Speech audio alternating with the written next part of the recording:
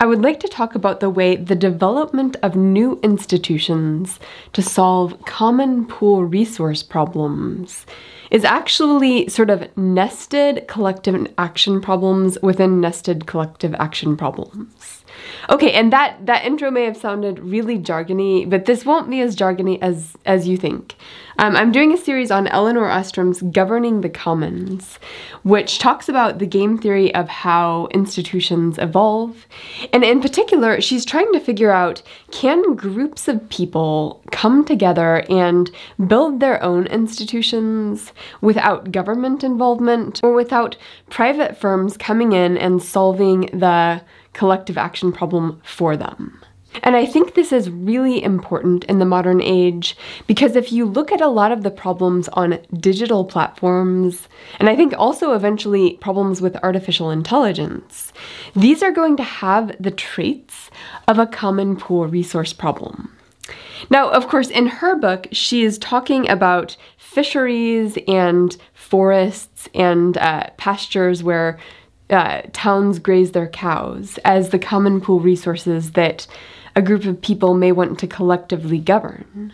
But with digital resources, it's going to be sort of um, the ethos of the platform, the collective conscience, um, the amount of bullying and mobbing and all that stuff. So um, these issues, I think people need to understand these issues.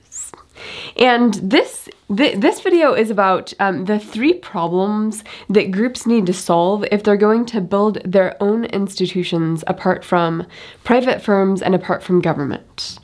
And those problems are um, the supply of institutions. Like it's obvious why groups of people might want want these institutions, but then why would the groups come together and actually supply that? That's a puzzle. And then how do you get people to commit to the institutions and the rules that would be good for everybody if, um, if the group could solve them? And then how do you have mutual enforcement of those rules so that you don't need a government to come in and enforce them for you, or you don't need a private firm like, um, like all of the digital platforms right now to come in and solve them, but rather it's something that everybody in the community collectively agrees upon.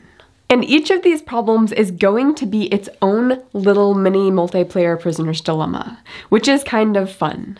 Now, I'm going to talk about this as if it's a little town, a historical town, say in the 1700s, where the town lives on a river that sometimes dries up and almost never has enough water for all of the people in the town to water their crops. Because in the rest of the book, she goes through these historical cases that are much like that case, where you have these little towns governing some resource, which is oftentimes a water based resource. And they're trying to govern it in a way that, that is satisfying to the whole community. And that's just a common example. So first off, we recognize that the governance of this river water for irrigation is a classic tragedy of the commons, where everybody has an incentive to take more water from the river than, um, than is good, and that's of course going to dry up the river. That's a problem. If the river dries up too soon, then uh, everybody can't water their plants at the end of the summer, and that's not good for the whole community. So they want to make sure that the, the water from the river lasts the whole summer. Uh, irrigates enough crops to sustain the population, and that's that's the goal. And it's a multiplayer prisoner's dilemma, which I represent on a diagram like this, where we have one player here and everyone else here, um, which is not necessarily the right way of uh, structuring this, although I find it to be a very helpful way of just simplifying the problem. So cooperate here is only take as much water as um, will not dry up the river by August, and defect is to take as much water as you want for your plants early in the season, and if everybody does that, the, the river is dry by August.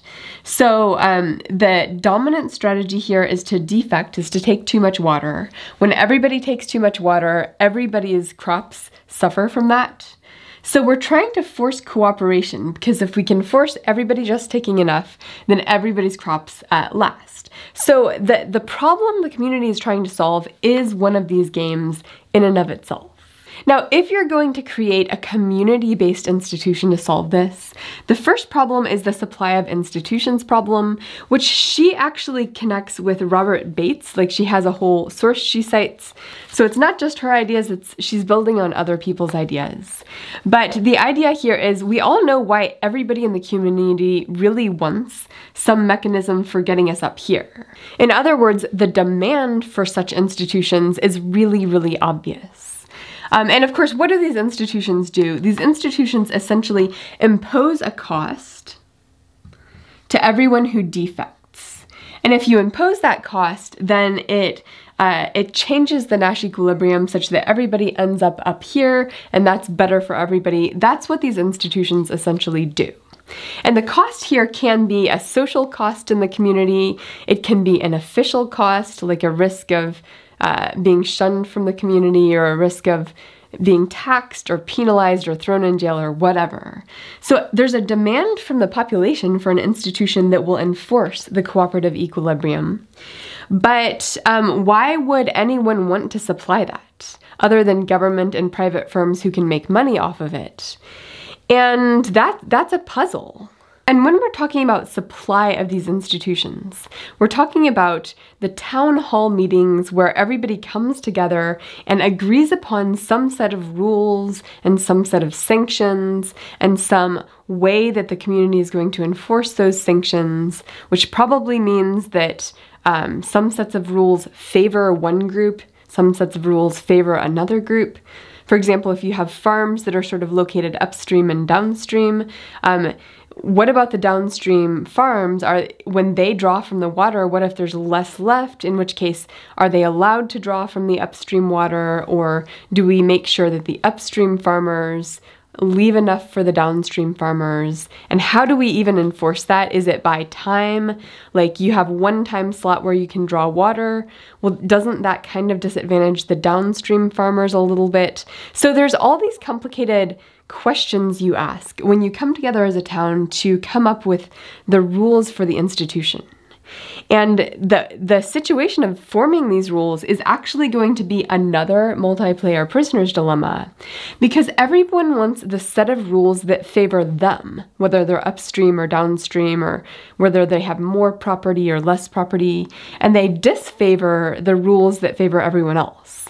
So there's a cooperate and a defect scenario, and everyone has an incentive to try to get the rules to favor them, which leads to this sort of impasse where nobody can agree on the rules.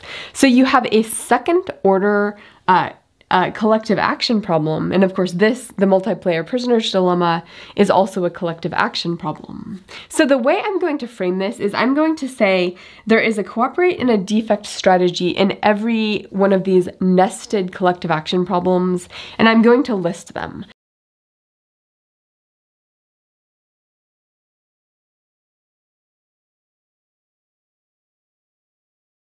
The top game they're trying to solve, Cooperate, is taking too much water.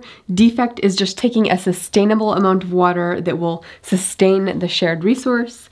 The second game down, which is associated with the first problem that groups have to solve if they're going to create uh, their own institutions is um, cooperate is agree to a, a, set of rules that is not necessarily the set of rules that would most favor you personally.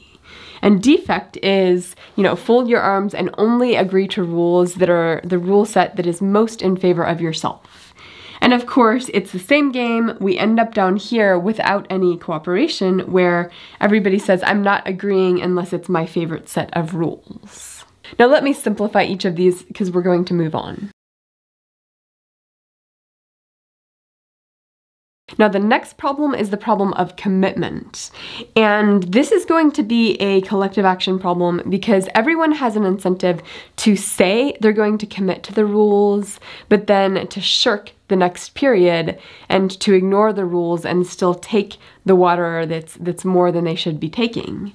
Um, and that sort of goes back to this top game, but it's basically like when we come up with these rules that would force the community into a cooperative situation. We need people to truly commit to that set of rules where they're like, actually, yes, I will follow the rules of the community. And so the next nested collective action game here is to commit actually or to pretend to commit and to defect the next round.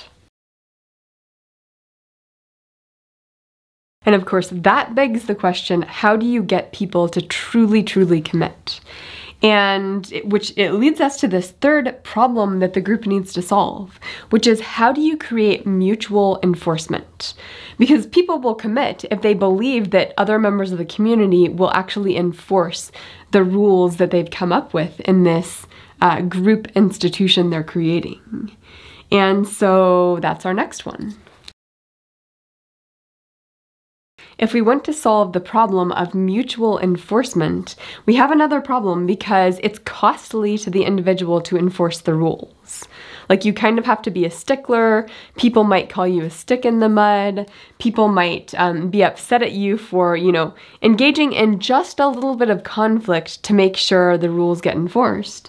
Um, so it's costly to the self, but the benefit is to the group. The benefit is that enforcing the rules, which is sort of imposing the the cost of negative 6 up here, leads to the better equilibrium, but everyone has an incentive to be a free rider and not enforce the rules, let somebody else in the community enforce the rules, and of course the result of that is that nobody enforces the rules and you end up back here. And so that's our fourth game. Each of these is a nested collective action problem, and so it's hard to get institutions to evolve naturally. Now, her whole deal in this book is she says, despite these nested collective action problems, there have been institutions throughout history that have actually done this as a community without government involvement and without private firms coming in. And so she's trying to figure out what makes those communities work. And of course, with smaller communities, you can have sort of social sanctions for not following through with your end of the bargain, which, which honestly helps. But you can have sort of adjustment of the rules over time to the situation such that the community feels these rules are fair after an iterative process and they're willing to actually invest in invest the time in enforcing. When it's fully enforced everyone is willing to truly commit. And so if we think about the online space and governance over artificial intelligence governance over uh, social media algorithms, could groups of people come together and mutually agree upon a set of rules that they all thought was fair, um, that was enforced not just by uh, force from the outside, but by the community agreeing to collectively enforce. Could that happen? And this is one of my own hopes. I think understanding these nested multiplayer prisoners dilemmas is really the first step to figuring out how can we make that happen in the digital space.